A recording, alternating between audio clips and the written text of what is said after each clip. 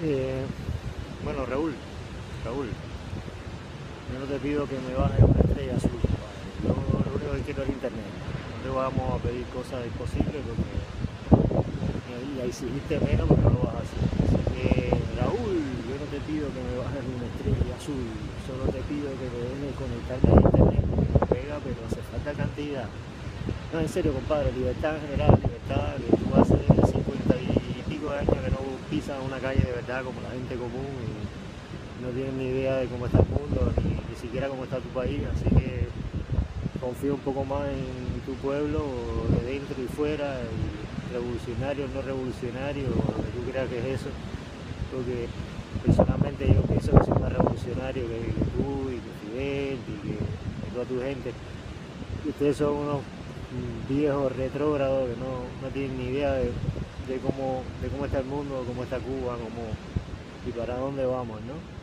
Así que te pediría un corto minuto, no sé si me he pasado, compadre, que libertad, que deja a la gente hablar y hacer lo que les dé la gana, por lo menos hasta que tú puedas dárselo. Y como no puedes dárselo, deja a la gente que viva en paz, somos mortales, compadre, nadie tiene derecho a, a, imponerle cosas a personas a las cuales a fin de cuentas somos, venimos aquí a, a este planeta a aprender y a sufrir y a experimentar y a, y a vivir, ¿no? Así que déjanos hacerlo, déjanos realizarlo como, como,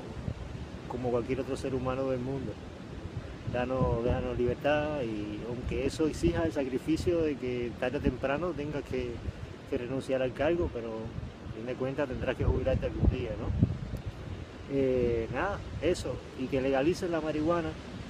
para que eviten la violencia, las maras, los carteles de la droga y la corrupción tremenda que, trae consigo eh, lo que es mantener ilegal el consumo y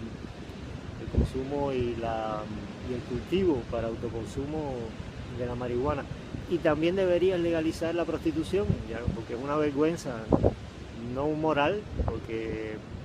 prostitución es una cosa necesaria, importante, los feos también tienen que cingar y, y, los, y los viejos, cosa que tú sabrás también, y los impedidos físicos, y la gente que está enferma, y gente que tiene fantasías muy complejas. La gente necesita cingar y hay personas que también les gusta trabajar en eso, es un gremio como otro cualquiera, pero necesita protección, necesita seguridad social y, y abonar dinero, compadre, que no esté en manos de la corrupción nada más. Si quieres un país nuevo libre de corrupción, van a tener que permitir las cosas, libertad, ¿ok? Bueno, saludos, que todos somos cubanos, un abrazo.